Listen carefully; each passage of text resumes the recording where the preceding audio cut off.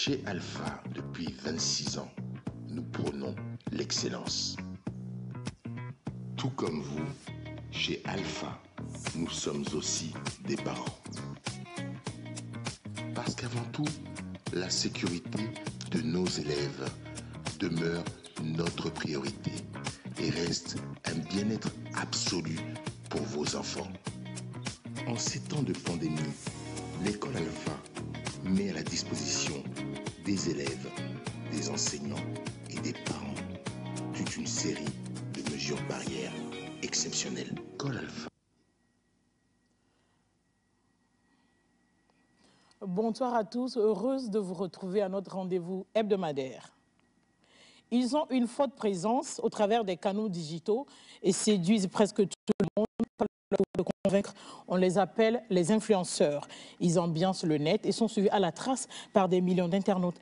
Quel objectif poursuivent-ils Dans notre émission du 21 août passé, nous avons eu à parler de, l'impact grandissant des coachs et des influenceurs sur le quotidien de tout le monde, mais surtout sur celui des jeunes. Aujourd'hui, nous avons choisi de faire un focus sur les influenceurs. Comment distinguer le vrai influenceur du vendeur d'illusions? Comment protéger ces jeunes qui s'abonnent aux comptes Facebook et autres réseaux sociaux?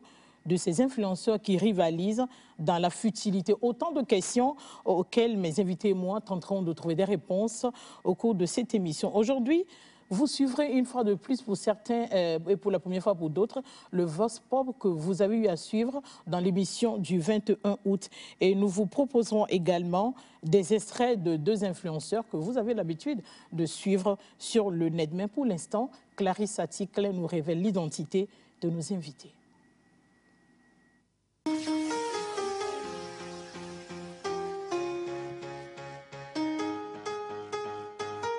Aujourd'hui, Pélagie reçoit pour vous Lucia Comisa. Elle est gestionnaire de ressources humaines et ambassadrice maritime Jeune Femme Leader Togo 2020. Unim Ochri. Il est marketeur digital, associé, gérant et responsable clientèle de Unium Solutions, une société de prestation de services digital. Faouz Nakamboni. Il est manager de formation et mentor professionnel sur My Job Glasses, une plateforme française de mentoring des étudiants français pour leurs projets académiques et professionnels. Tcheka Malou, juriste de profession, il est président de On est ensemble, un Chicken Action Tank qui mène des actions éducatives, culturelles en vue de promouvoir la notion de responsabilité et de transmettre à la jeunesse une mentalité de vainqueur dans un contexte mondial de plus en plus compétitif.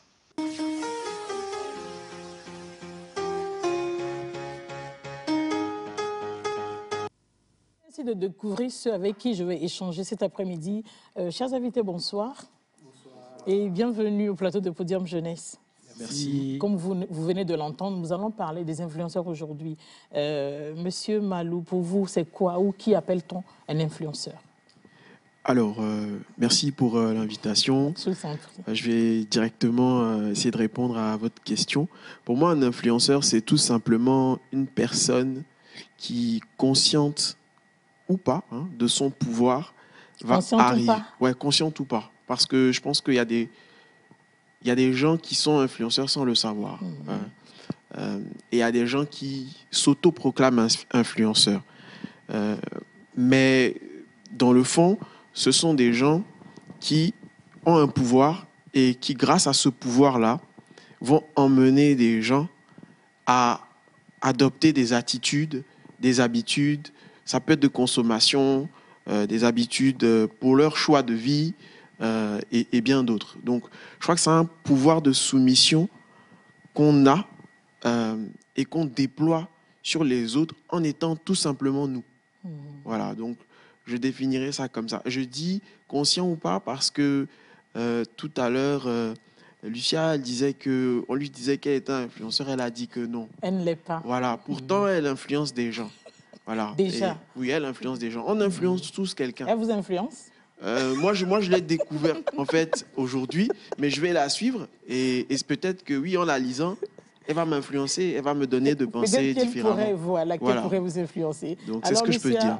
Merci beaucoup, Tcheka. Le temps donne la parole pour vous. C'est quoi un influenceur Alors, merci qui plutôt un influenceur aussi de, de, me recevoir. Je, vais construire sur ce qu'il a dit, mais pour moi, plus simplement, un influenceur, c'est un leader d'opinion. Qu'est-ce que j'appelle un leader d'opinion? C'est quelqu'un qui, par sa notoriété, par sa cote de popularité ou par son exposition médiatique, arrive à faire changer des habitudes, arrive à faire changer de choix à une personne qui s'identifie à elle. Donc, pour moi, c'est ça un influenceur. Oui, euh, bonjour à tous. Merci Pélagie pour euh, votre invitation. Euh, l'influenceur pour moi, c'est quelqu'un qui dispose d'une communauté et que cette communauté lui sert à, aboutir à sa fin. Voilà. Tout simplement. Tout simplement. Fauz. L'influenceur, c'est qui? L'influenceur, c'est celui qui impacte mmh. un certain nombre de personnes qui ont pour euh, qui ont pour euh, sujet euh, des faits de la société.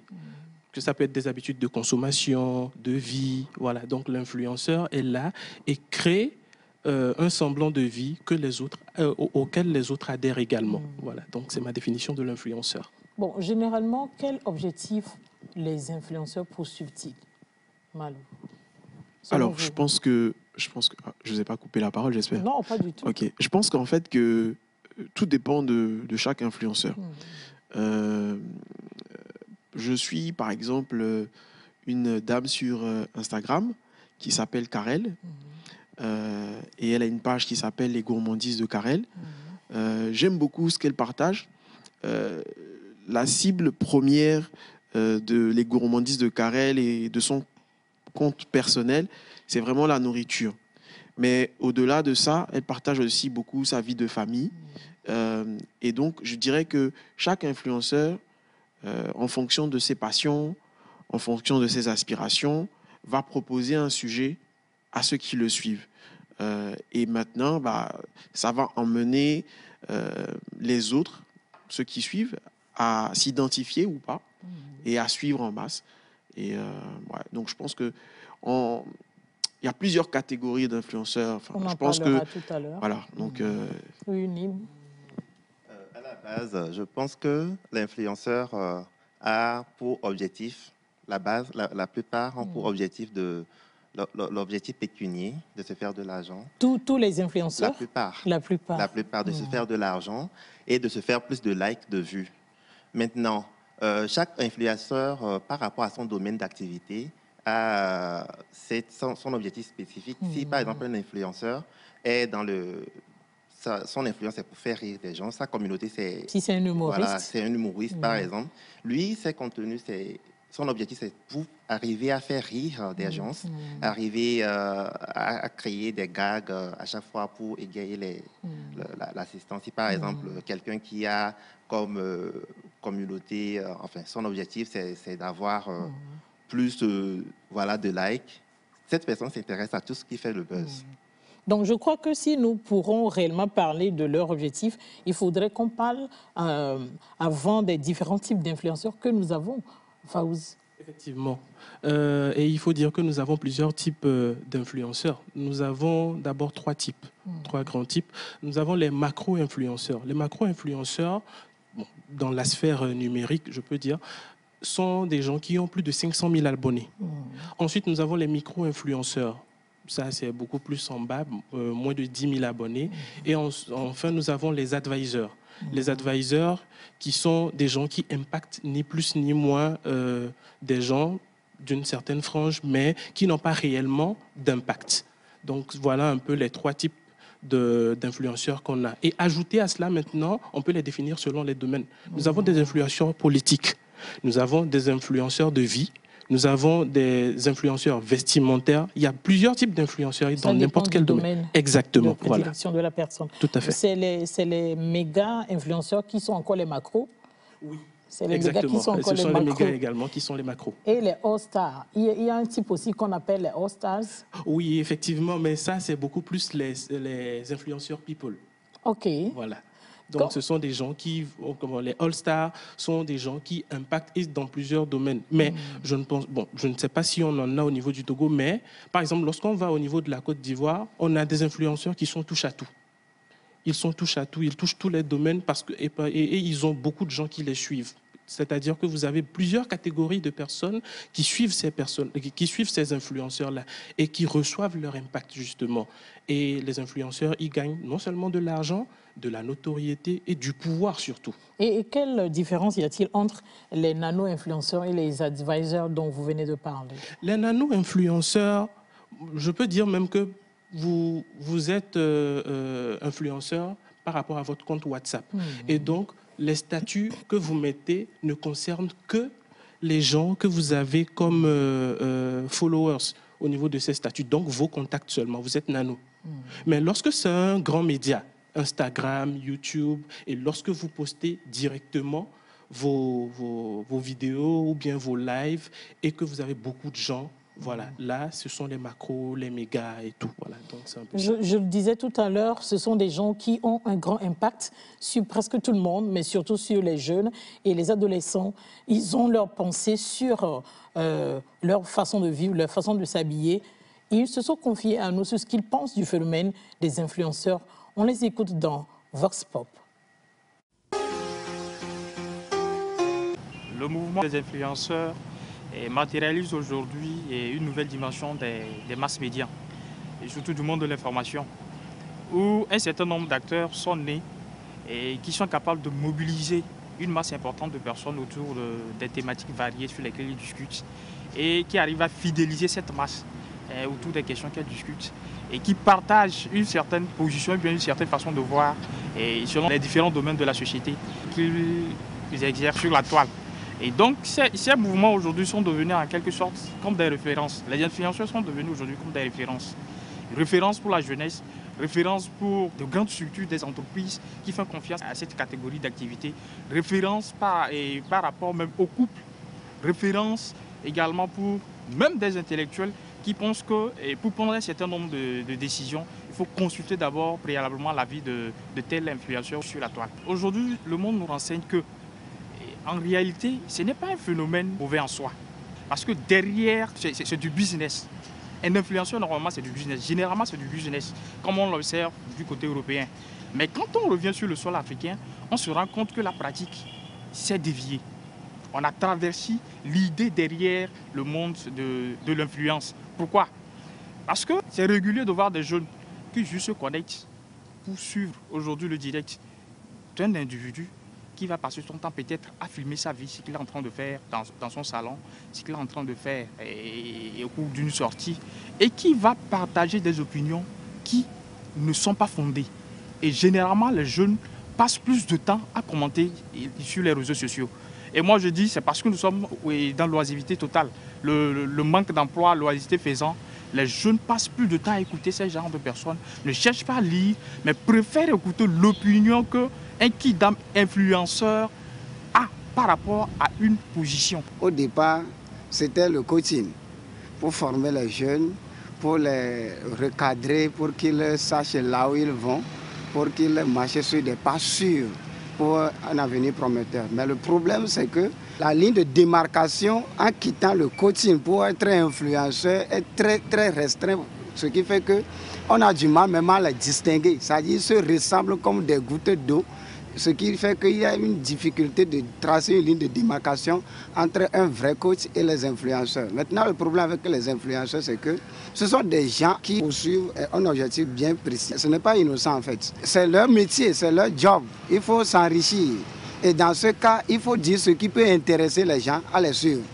Ce qui fait que même s'ils n'ont pas expérimenté ce qu'ils disent, l'essentiel c'est de les dire pour que des gens puissent les suivre de prendre leur argent ou d'avoir autant de likes sur les Facebook, autant de j'aime sur les YouTube pour pouvoir créer de buzz et tout ça. Donc ce qui fait que vous allez les voir, ce sont des influenceurs qui influencent parfois négativement et d'ailleurs, puisque la, la preuve c'est que ce sont des gens qui n'ont aucune maîtrise de ce qu'ils disent. Comment un célibataire peut former des couples lorsqu'il n'a jamais vécu une vie de couple? Comment quelqu'un qui n'a jamais conduit par exemple une voiture peut instruire quelqu'un sur comment conduire et comment entretenir une voiture.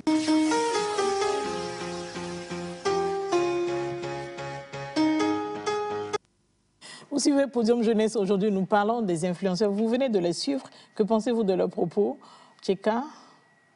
Euh, Alors, il y a tellement de choses à dire. En fait, euh, je note que dans toutes les sociétés, euh, les hommes ont besoin de s'identifier à quelque chose. Mmh. Et je pense que les influenceurs, ce sont des personnes que nos sociétés élèvent, tout simplement. On les élève et on s'identifie à eux, euh, à ce qu'ils font. Euh, parfois, peut-être parce que nous-mêmes, on veut faire ça, mais on n'arrive pas, on n'a pas l'audace, on n'a pas le courage pour l'instant.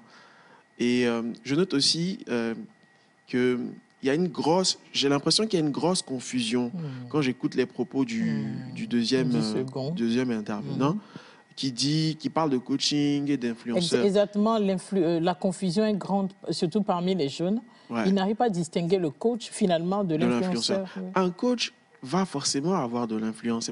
Je reviens à ce que je disais au début. Je pense qu'on a tous un pouvoir d'influence sur l'autre. Que tu sois coach, que tu sois des bailleurs, que tu sois euh, Gogoligo, peu importe. On a mm. tous un pouvoir d'influence. Mais le truc, c'est que qu'est-ce que on en fait et est-ce que nous en sommes vraiment conscients euh, Les gens ont envie de s'identifier aux gens. Aujourd'hui, sur Internet, il y a tout et n'importe quoi. Tout le monde euh, suit ce qu'il a envie de suivre. Moi, je suis des gens parce que j'ai un idéal, j'ai des aspirations. Quand je les regarde, ça me donne envie de, de davantage travailler sur moi. Je me dis, ah tiens, celui-là, il s'exprime bien, j'aimerais parler comme ça. Je vais le regarder souvent parce qu'on devient ce qu'on contemple, tout mmh. simplement.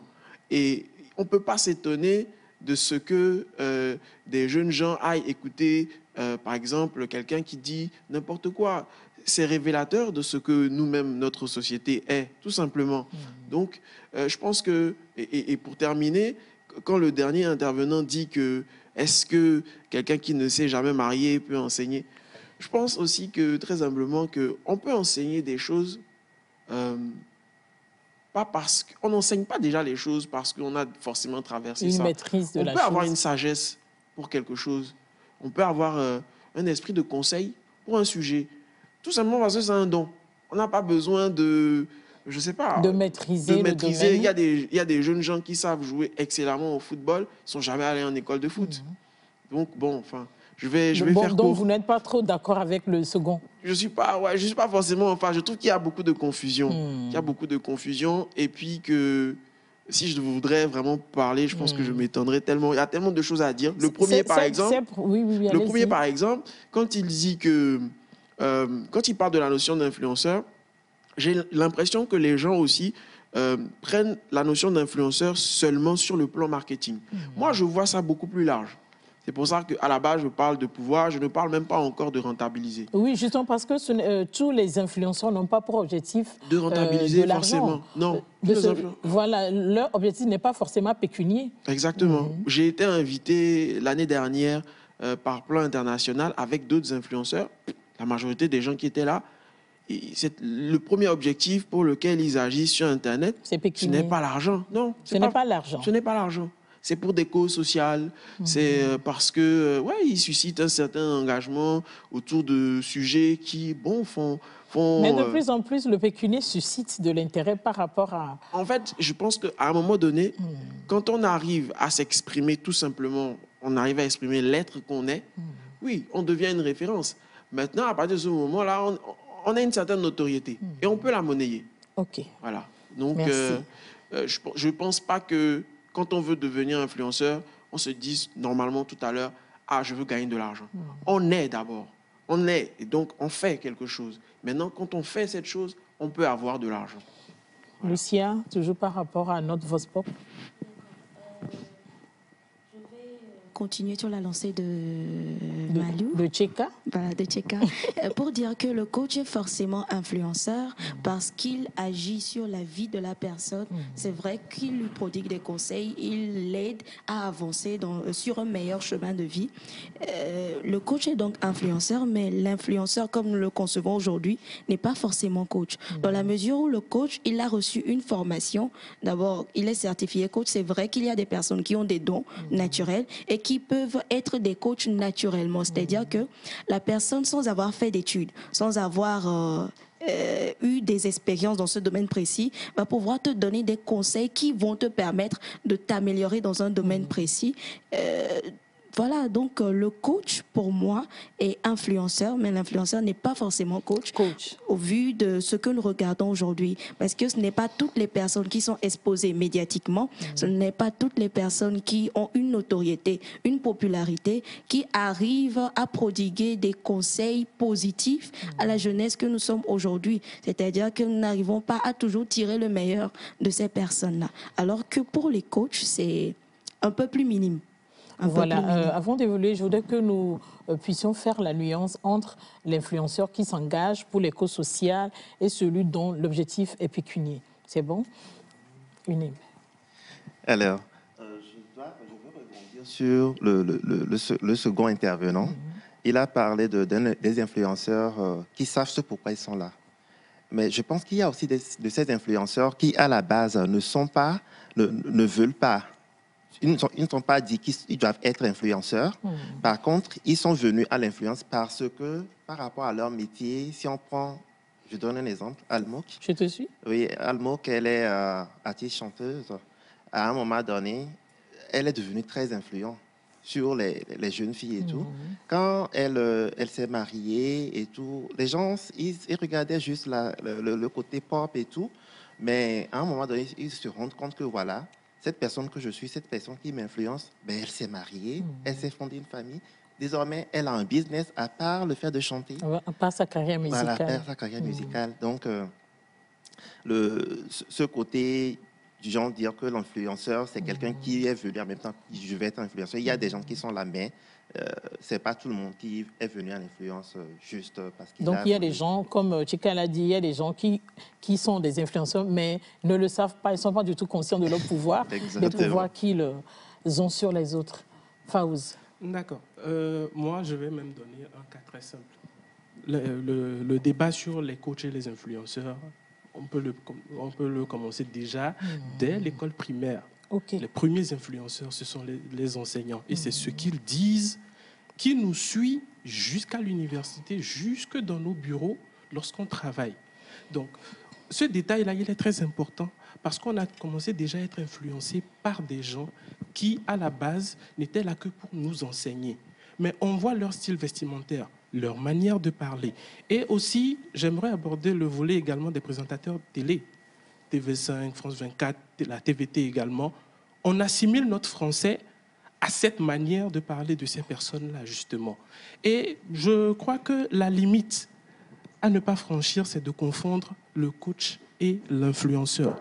Le coach, lui, il impacte directement.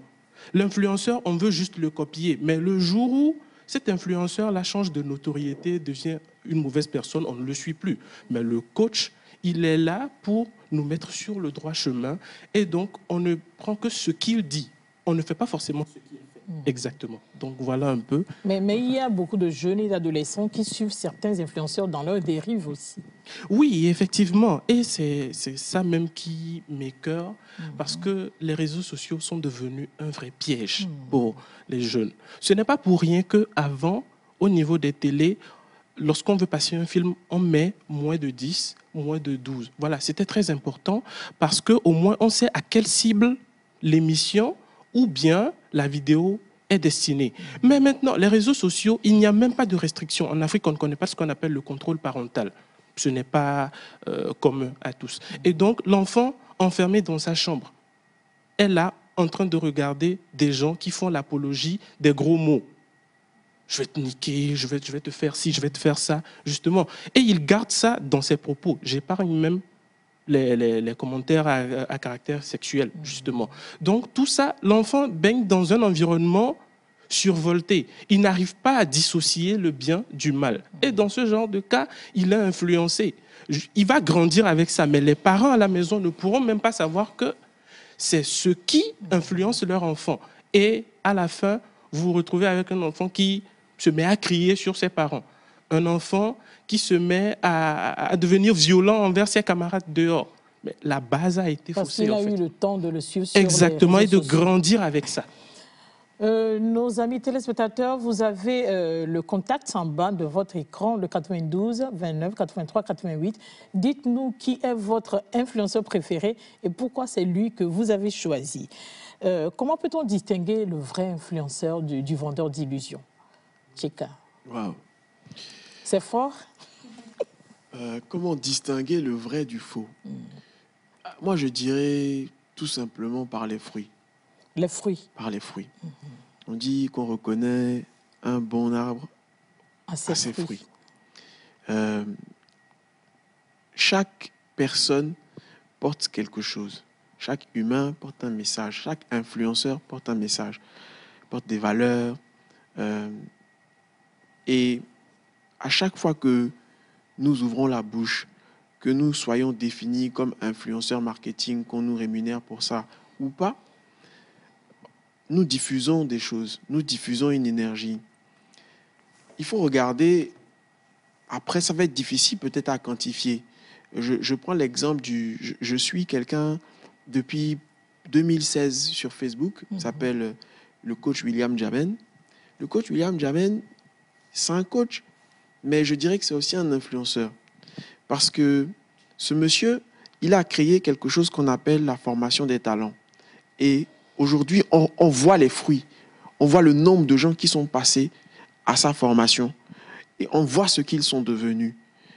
Moi, je dis, pour reconnaître un vrai influenceur d'un faux influenceur, il faut regarder ceux qui suivent ces influenceurs et ce que ces gens font. En regardant peut-être sur leur mur, qu'est-ce qu'ils partagent dans la vie de tous les jours, mmh. qu'est-ce qu'ils disent? Euh, il ne faut pas se leurrer. Si on suit des gens qui insultent tout le temps, on va se retrouver insulté. En fait, c'est juste parce que, en fait, c'est.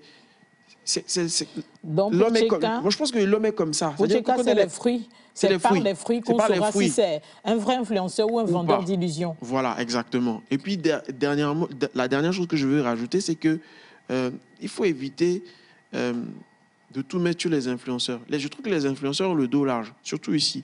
Les gens aiment très vite dire que oh, c'est parce que les influenceurs. Les gens qui suivent des gens qui insultent, c'est parce qu'eux-mêmes, quelque part au fond, ils aiment insulter. Ils ont une semence d'insultes en, eux. Voilà. Donc, ils vont rejoindre quelque chose auquel ils se reconnaissent. On dit souvent que si tu mets un chat dans la boue, il va se nettoyer. Tu le mets dix fois, il va se nettoyer, onze fois. Mhm. Si tu, mets, tu laves un, un, porc, il va retourner dans la boue. Donc, chacun va à ce qu'il est, en fait. Tout Selon simplement. Qu'est-ce que Lucien pense de la question? Les influenceurs, quels qu'ils soient ou qui qu'ils soient, ne peuvent pas être des modèles parfaits. Mhm. Alors il est possible que les fruits qu'ils portent ne soient pas aussi bons que ceux qu'on espérait. Mmh. Mais en tant que personne dotée d'intelligence et de conscience, à nous de suivre les personnes, de faire une introspection, de savoir ce qu'on peut retirer de ce que cette personne a dit mmh. ou a fait et de ce qu'on ne peut pas aussi copier mmh. chez lui. Parce qu'à mon avis, il n'y a pas de personne parfaite. Donc au-delà de des, fruits, il faut aussi, en tant qu'individu, réfléchir par rapport à ce que la personne dit pour prendre les bonnes décisions. Merci, oui le vrai influenceur du, vendeur d'illusions, c'est d'abord de voir, d'étudier cet influenceur-là. S'il y a un influenceur qui... Euh, de le suivre sur un temps donné, c'est ça? Voilà, de l'observer. De, l'observer. Voilà, d'apprendre à le connaître. Quand on veut suivre quelqu'un, il faut le connaître d'abord. Hmm. Si par exemple, je, voilà, je, je prends quelqu'un qui est influenceur en entrepreneuriat, mais qui n'a aucune entreprise, franchement, je ne peux pas continuer de le suivre. Je ne peux même pas le conseiller à quelqu'un. De... On est d'accord avec Raphaël. La personne n'a pas d'entreprise, mais il est coach en entrepreneuriat. Voilà. Là encore, on, se rend compte que le, la marge entre le, coach et puis l'influenceur est très mmh, minime. Mmh. Mais l'influenceur, justement, vu qu'il influence sur la, la, enfin, le comportement, le vécu quotidien de, de ses abonnés, euh, forcément, il faut que, euh, pour pouvoir reconnaître s'il est vrai, si euh, tout ce qu'il dit, c'est vraiment en adéquation avec sa personne, mm. il faut voir ce qu'il fait derrière aussi. Il ne faut pas se limiter à, uniquement à ce qu'on voit. Ce qu'on voit. Mm. Il faut essayer de, voir au-delà de, ce que l'influenceur montre. Réalise. Voilà, réalise. Dans la vie, la, vie concrète. Nous avons Parfait qui nous écrit depuis Atiégou. Il me dit que lui, il a deux influenceurs préférés, euh, les coachs Simon Oudraogo du Burkina, vous les connaissez, et Zoromé Mamadou de la Côte d'Ivoire. Donc, euh, c'est par rapport à leur enseignement technique de réussite en leadership que lui, il les préfère. On évolue avec Faouz. Vous avez euh, un influenceur préféré aussi? Oui, y a-t-il quelqu'un qui a réussi à vous influencer? Oui, moi j'en ai deux. Deux. Simon Ouedraogo, pour ce qui est de coaching de vie mhm. et surtout parler français pour le parler du bien français. S'exprimer. Bien s'exprimer. Mhm. C'est l'ex-DG de la TVT, Kwesien Evo Devi. Ok, voilà. Effectivement. Et Tcheka euh, Alors, moi, je suis pas mal de gens. J'ai parlé tout à l'heure du coach William Jamen. Je suis aussi quelqu'un qui s'appelle euh, le coach Darcy, Darcy Ogandaga, qui vit aux États-Unis, qui est gabonais. Euh, je suis Karel et son mari. Euh, à Lomé, on va dire, je suis euh, Edwige, Edwige, Vincent. Oui. Edwige euh, Jérôme, Jérôme James. qui encore?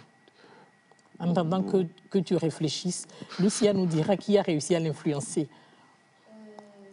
une jeune femme à laquelle je m'identifie beaucoup sur Instagram, mmh.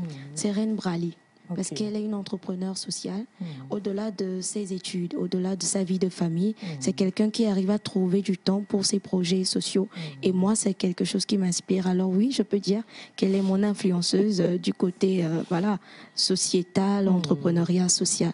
Et en matière de lifestyle, il y a une entrepreneur euh, une influenceuse plutôt, togolaise, mais qui réside en France, qui, elle, son truc, c'est de s'amuser. Donc, quand tu ne te sens pas bien, de s'amuser, de déstresser, mmh. de vivre, de paraître aussi naturel que possible, mmh. elle se donne des défis euh, un peu fous qu'elle essaie de réaliser et fait plaisir euh, à mmh. tous ceux qui la suivent. Alors, je ne suis pas abonnée, mais je la suis fréquemment. Elle s'appelle Lawson Penola. Ok. Euh, Toussaint Tchala nous écrit depuis Cara. Il nous dit que lui, son influenceur préféré, c'est H5 Motivation. Sur YouTube. Sur YouTube. Vous connaissez Oui. Vous êtes nombreux à les suivre, ces influenceurs, sur les réseaux sociaux. Vous êtes des milliers à, attendre leur direct. Cet après-midi, Épousum Jeunesse euh, vous propose des extraits de deux d'entre eux. Le premier togolais, euh, le second, la seconde, elle est ivoirienne. Euh, le, Togolais, c'est Aristo Le Blédard.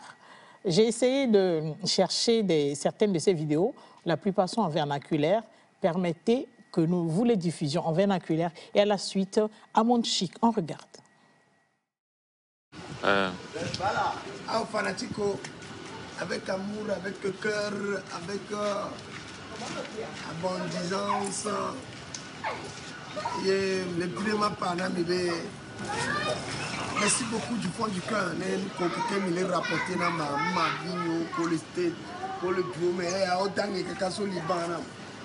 Mais tout le monde est ebe ɖo ga ɖe me anɔ le ƒuƒla ne ŋutsu ava tsi kɔ anyi me nye nyigba nyi ne gbegbe o egbe abe mi ti krasi.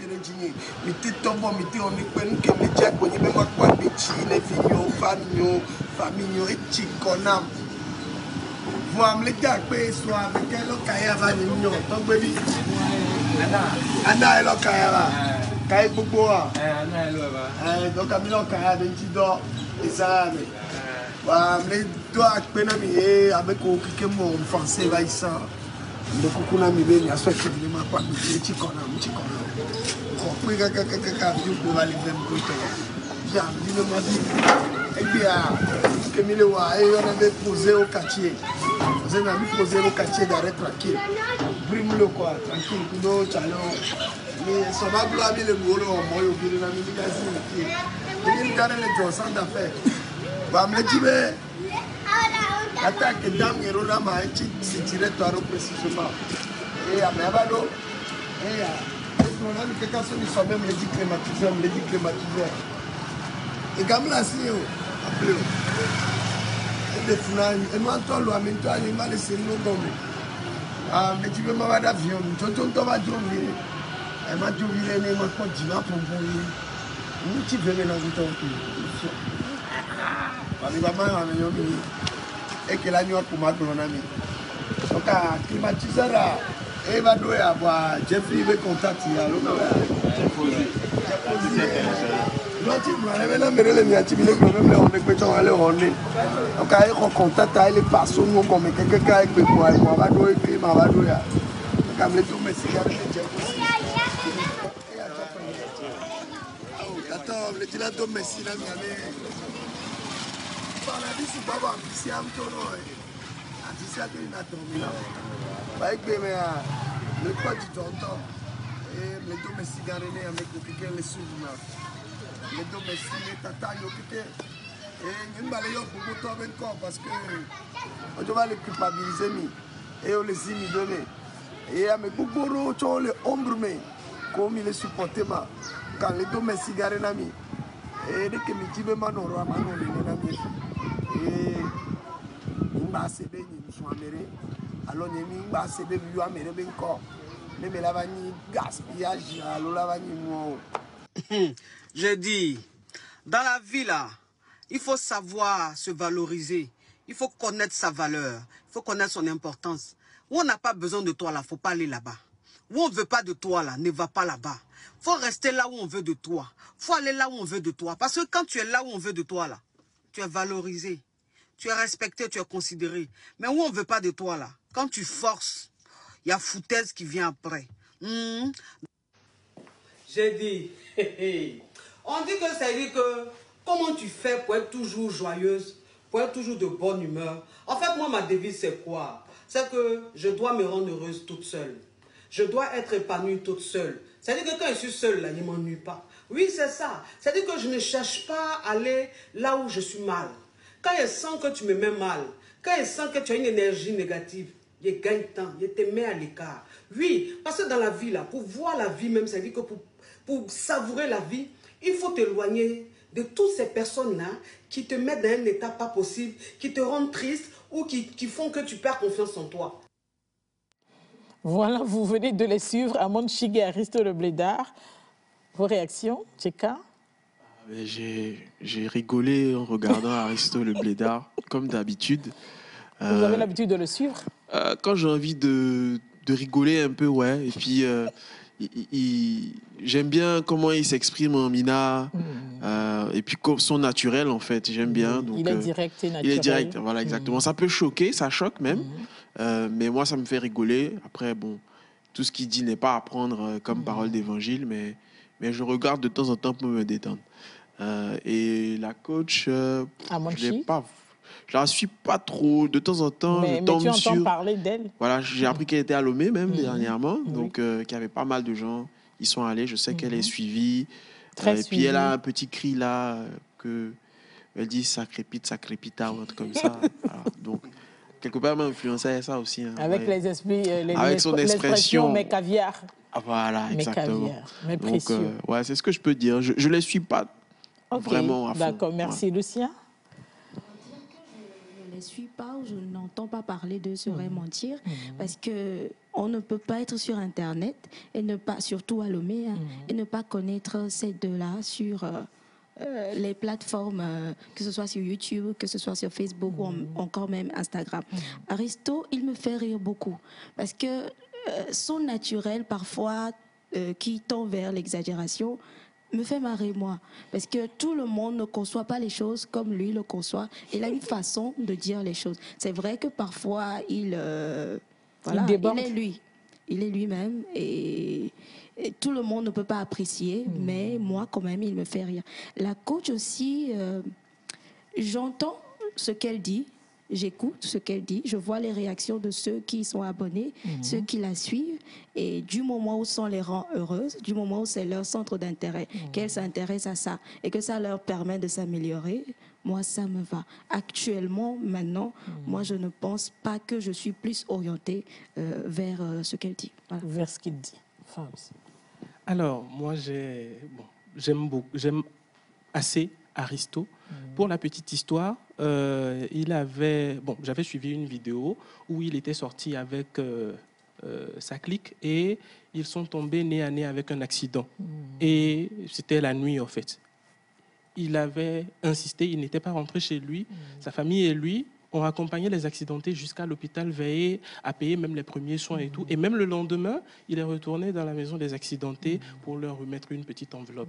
C'est quelqu'un qui a la main sur le C'est vrai qu'il est engagé pour l'éco social. Effectivement. Mmh. Et ce côté de lui, j'aime beaucoup. Mmh. Mais c'est le volet, insultes, dérapage et tout que je n'apprécie pas C'est vrai que j'ai sélectionné la vidéo que vous avez eu à tout à l'heure? Oui. Même si ce n'est pas sincère, il a présenté des excuses Effectivement. au public parce qu'il est passé par beaucoup de choses. Et je crois qu'il a pris conscience et il a, fait, il a prêté serment. Si. Il a prêté serment qu'on ne le retrouvera plus dans ces genres de choses. Donc, Aristo, nous vous suivons. Mhm. Nous verrons si vous ferez comme vous avez dit. oui, et puis j'espère vraiment que ça va aller parce que c'est quelqu'un, franchement, euh, beaucoup de jeunes s'identifient à lui et il serait de bon ton qu'il affiche un caractère euh, toujours bien et que ces jeunes-là puissent essayer vraiment de lui ressembler pour la coach Amon Chic, je veux dire que, bon, je ne la portais pas trop dans mon cœur avant mhm. parce que ses prises de position étaient carrément féminines avant. Mais maintenant, elle essaie de donner des conseils des deux côtés. Et donc, euh, elle arrive à trouver le juste milieu. effectivement, des choses. effectivement. Merci beaucoup. Onim. Euh, bon, je remarque quand même que les deux vidéos que vous avez sélectionnées, c'est que vous avez fait une belle analyse. Parce que les gens suivent beaucoup ces deux, ces deux C'est le fruit du travail, c'est clair. voilà. Quand j'allume mon Facebook, euh, si je n'ai même pas envie de, de, de, voir euh, Aristo ou tout ce qui va avec, il y a tout le temps des gens qui, qui, le, qui partagent ces vidéos, qui, euh, même il y a des gens qui partagent dans des groupes où je suis administrateur. Donc, je, je vois que c'est vraiment, ils sont vraiment suivis. Par exemple, à mon coach, c'est quand je prends mon statut, waouh, la plupart des femmes qui, dans leur statut, c'est à mon coach, à mon coach. Je dis, waouh, ça a fait que je, je, me suis intéressé un peu à eux pour voir ce qu'ils disaient. Euh, ben, comme, comme je, je l'ai dit un peu au début, chacun a son domaine d'influence et chacun s'identifie à son influenceur. Mmh. Juste qu'il faut avoir vraiment l'esprit de discernement pour pouvoir prendre ce qui est à prendre pour soi que ce soit bon ou mauvais, c'est... Ce, qui vous fera du bien. Voilà, ce qui vous fera du bien. Merci. Donc, il faut forcément le discernement. Nous avons remarqué qu'en quête de buzz, euh, certains influenceurs ne semblent pas avoir de limites. Euh, il y a insultes, euh, langage vulgaire, même des mensonges. Et ils, ne se fixent aucune limite dans la vulgarité. Donc, ils sont prêts à tout pour attirer le monde à eux. Maintenant, comme nous nous adressons à des adolescents, à des jeunes, euh, comment pensez-vous qu'on puisse protéger ces jeunes qui s'abonnent à ces comptes Facebook et autres réseaux sociaux euh, de ces influenceurs qui rivalisent dans la futilité? Faust D'accord. Vous abordez un point vraiment très intéressant. Je vous remercie. Bah, il faut dire que, comme je l'ai dit avant, les réseaux sociaux, c'est un vrai piège c'est un vrai piège. Et ma foi, ce, ce que je devrais dire à ces jeunes actuellement qui nous regardent, c'est que euh, on crée actuellement l'image qu'on veut être demain. Voilà. Et je peux même aller dans le domaine du travail pour dire que tout ce qu'on dit actuellement reste sur les réseaux sociaux et on en garde des traces. Vous serez surpris de retrouver vos frasques à votre entretien d'embauche. Parce que votre habillement, votre manière de parler. Et surtout, ça, les gens ne le savent pas, vos contacts. Ben, vous acceptez n'importe qui parce que vous voulez peut-être euh, beaucoup de contacts qui vont voir ce que vous postez. Mais c'est qu'à un moment donné, on, se rend compte que voilà, euh, tel ami en commun. Vous avez un violeur en tant qu'ami en commun. Vous avez, euh, euh un ex-assassin dans vos contacts. Voilà ça peut ne pas être rien, hein, mais à un moment donné, bon, on, se dit quoi? Si vous êtes au nombre de cinq et vous êtes la sixième roue du carrosse, vous ressemblez à ceux avec qui vous faites compagnie. Donc, c'est très important de pouvoir euh, faire la part des choses étant sur les réseaux sociaux. Mmh.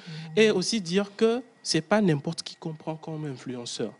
C'est vrai que l'influenceur qu'on choisit, c'est par rapport à ce que nous-mêmes on aime en fait. Mais choisir un influenceur, c'est choisir également la voie qu'on va suivre. C'est choisir les habitudes qu'on va prendre, mhm. tout ce qu'on va consommer. Et ce n'est pas forcément tout ce qu'on aime qu'on doit consommer. Mhm. Donc il est très important de, mettre, de faire la part des choses et surtout de cohabiter avec des gens matures. Ça, je mets un point là-dessus. Il ne s'agit pas seulement d'avoir des amis qui ont une bonne tête, non. Peu de jeunes arrivent à se rapprocher des personnes âgées. Des personnes qui ont de l'expérience. Moi, je pense que c'est très important de le dire. Les jeunes doivent aller vers ces gens-là pour prendre un peu et également diluer un peu, je peux dire, les compagnies qu'ils font. Et là, je pense que ça va aller. Merci, voilà. Lucia? Comment les protéger? Pour protéger ces jeunes-là, je pense que tout dépend d'abord de, de, nos centres d'intérêt, tout dépend de la vision que nous avons pour notre avenir, de ce que nous devons devenir, ce que nous voulons devenir dans le futur, ce à quoi nous, euh, nous aspirons comme mmh. futur. Alors, euh, si nous avons des projets, nous avons une vision, je nous conseille en tant que jeunes de chercher des personnes qui correspondent à, cette vision-là et de suivre ces personnes-là. Les suivre ne veut pas dire qu'il faut absolument tout copier de ce qu'ils disent ou de ce qu'ils font, mais euh, prendre le positif dans ce qu'ils font et dans ce qu'ils disent et ajouter cela à notre propre conscience, mmh. à notre propre façon de faire les choses essayer de faire une synthèse et de mettre cela en œuvre.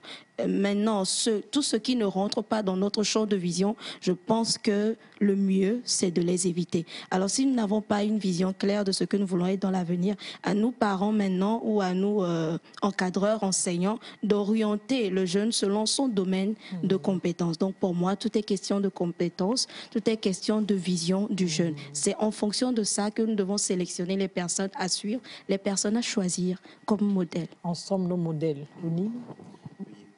Euh, ces jeunes-là euh, de, des influenceurs. Je pense qu'il faut beaucoup plus faire... Des euh, influenceurs, non. De l'influence des vendeurs d'illusions. Voilà. des vendeurs d'illusions, mmh. voilà. Il faut mettre de l'accent sur l'éducation. Et aujourd'hui, quand on parle d'influenceurs, on fait référence à l'Internet. Donc, l'Internet ne doit plus être un sujet tabou mmh. pour les parents dans les maisons. Tant que vous avez un Wi-Fi à la maison ou un Wi-Fi zone peut venir euh, chez vous et que vous avez acheté un smartphone à votre enfant, il faut déjà commencer par lui inculquer une, une éducation de base mmh. par rapport à ce qu'il faut chercher sur Internet. Il faut dire peut-être à l'enfant déjà que bon, l'Internet, ça sert à faire des recherches euh, pour ses exposés, ça sert euh, à faire des, recherches, par exemple, pour des musiques. Donc, tu parles de l'éducation numérique? L'éducation numérique, mmh. voilà, l'Internet. Mmh. L'éducation numérique, c'est très important. Pour, toi, ça résoudra ce problème Oui.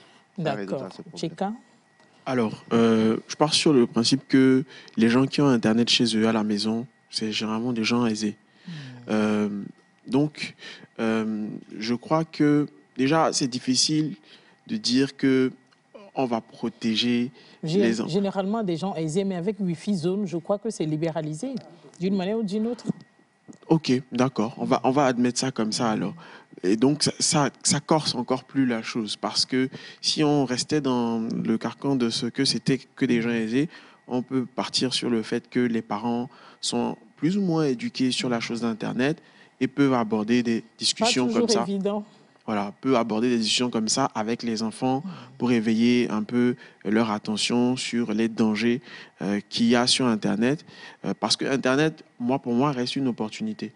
Ce n'est pas quelque chose de mauvais. Mmh. Euh, mais il faut faire savoir aux ados, parce que si on parle d'ados, à ce moment, c'est des aides qui sont convaincus, qui savent ce qui est bon de ce qui est mauvais et qui sont très entêtés. Il faut leur faire comprendre que tout est permis, mais que tout n'est pas utile.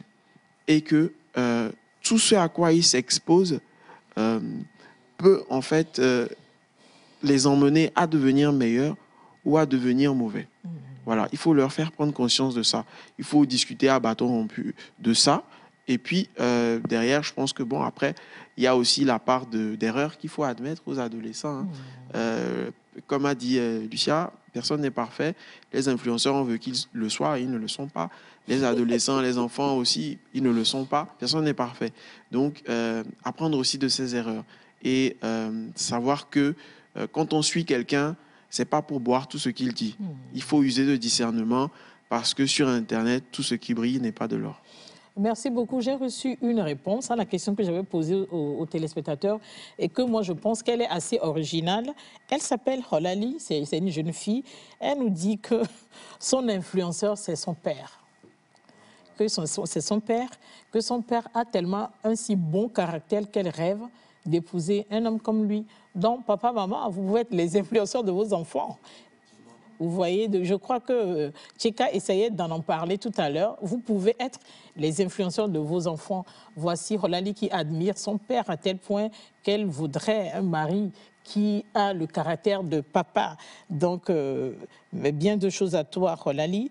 Je crois que tout doucement, nous allons vers la fin de notre émission. Mais en deux, trois minutes, j'aimerais que nous abordions ce côté assez positif des influenceurs, parce qu'aujourd'hui, le, le, marché de la communication des entreprises est saturé. Les publicités traditionnelles euh, voient leur impact sur les consommateurs diminuer. Donc, les influenceurs sont devenus une composante clé des stratégies de communication. Faouz. Euh, ben, c'est bien. C'est en cela même qu'il faudrait faire la différence entre des influenceurs et des ambassadeurs. Mmh. Les ambassadeurs sont des égéries de ces sociétés-là et font l'apologie de, de leurs marques ou bien des produits vendus. Voilà. Lorsque vous prenez, par exemple, euh, Toufan avec euh, ou bien vous prenez euh, Agoti Yaomawena avec euh, la bébé. Donc, c'est ces influenceurs-là, je peux les appeler ainsi, sont des ambassadeurs. Donc, les ambassadeurs, quelle est la différence entre les influenceurs et les ambassadeurs? Les ambassadeurs sont sous contrat.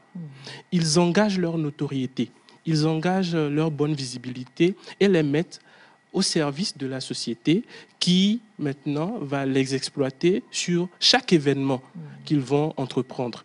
Et donc cela permet de déteindre positivement sur les ventes des entreprises. C'est une bonne chose et je pense que pérenniser cela, euh, ce serait bien. Et les entreprises ont vraiment intérêt à ce que ces ambassadeurs-là les représentent. Voilà. Mais ils sont très convoités aujourd'hui par les entreprises. Oui. Euh, je prends un exemple tout simple si une, société qui fait dans la vente des, articles sportifs, par exemple, mhm. ils peuvent euh, décider de, dénicher parmi ces influenceurs euh, ceux qui font peut-être euh, du coach, enfin coaching fitness mhm. par exemple, ou carrément un star de football qui est en même temps aussi influenceur.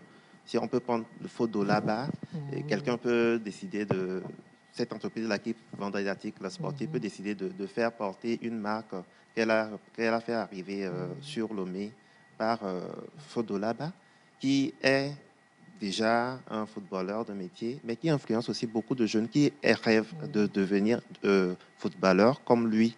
Donc, c'est une opportunité. Quand on parle de, on, peut parler de toutes les dérives, mais ça reste une, vraie, une réelle opportunité mmh. aujourd'hui. Si on prend euh, un, un, influenceur, je pense que peut-être Dieu donné, Monsieur Dieu donné Kevin ne sait pas qu'il est influenceur réellement, mais si euh, par rapport à une marque de vêtements, on l'approche pour en faire une pub, par exemple, c'est. Alors, tout à l'heure, tu me disais que Tcheka, c'est un influenceur, conscient ou inconscient? Voilà. conscient, Tcheka euh, moi, je suis conscient que j'influence des gens. c'est vrai. Voilà. Mais, mais Lucia n'est pas consciente qu'elle influence des gens. Peut-être parce qu'elle fait preuve d'une humilité. D'une humilité qu'on ne peut même pas décrire. Donc, Lucia est influenceuse. Bien sûr. Donc, nous devons la coacher pour qu'elle euh, se rende compte, prenne conscience de, de son pouvoir sur les gens. Je vous remercie euh, d'avoir choisi de passer ces moments avec nous. Je remercie aussi nos amis qui nous ont suivis depuis leur maison. Euh, je vous l'avais dit en début d'émission, nous avons choisi aujourd'hui de faire ce focus sur les influenceurs pour, que nos amis ados et jeunes puissent faire la distinction entre les vrais influenceurs et les vendeurs d'illusions. Ayez un projet de vie, sachez qui vous pourrez suivre et qui pourra vous aider à aboutir à ce projet. Je vous retrouve le samedi prochain avec un grand plaisir à 13h40. Au revoir.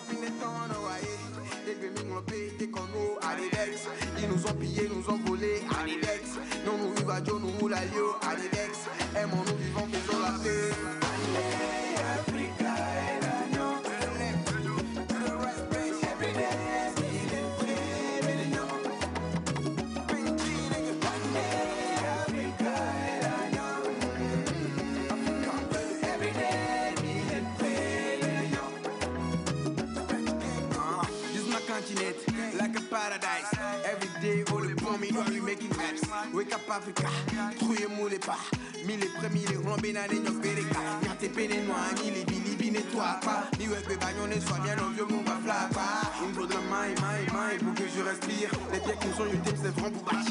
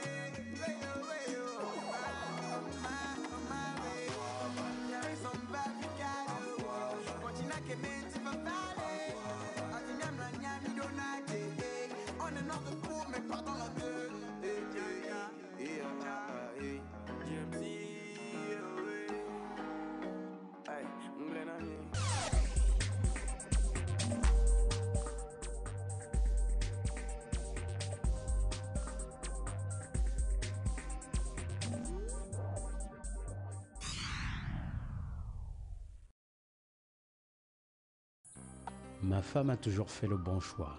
Et pour notre enfant, elle a choisi Baby Life. Baby Life parce que c'est l'idéal pour tous les enfants. Les couches Baby Life disposent de